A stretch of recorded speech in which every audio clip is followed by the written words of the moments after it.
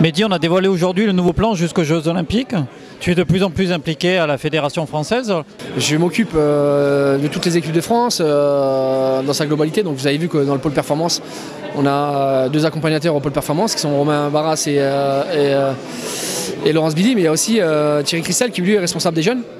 Donc euh, effectivement, on essaie de, travailler de manière transversale pour essayer d'accompagner le mieux nos équipes de France. Et euh, effectivement, pour certains de nos athlètes, on a besoin d'avoir une, proximité supplémentaire et une euh, politique plus chirurgicale pour essayer de, tout simplement faire du cas par cas. Justement, ton, ton rôle, pour qu'on comprenne un petit peu, il est de faire l'interface entre la fédération et les athlètes, puisque tu connais les deux. C'est un, petit peu ça, ouais, c'est un petit peu justement de, faire en sorte qu'il y, ait un lien de manière régulière avec avec la fédération.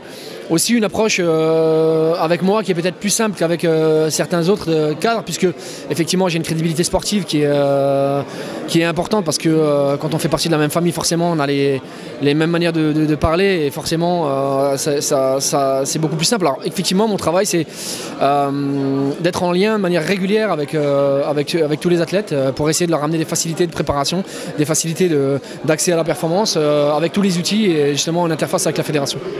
comment aider à faire en sorte que certains athlètes puissent encore plus s'épanouir, euh, d'être là, de les écouter, euh, d'absolument pas aller contre ce qu'ils pensent. Au contraire, mon rôle, c'est plus de croire en ce qu'ils demandent et de croire en ce qu'ils pensent être possible et d'essayer de faire en sorte que ça fonctionne plutôt que de leur dire non, mais c'est pas comme ça. Quoi.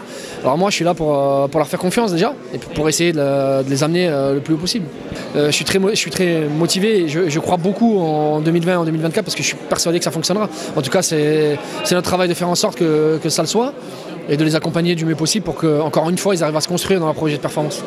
Écoute, merci beaucoup et puis on va, on va suivre ça. Merci.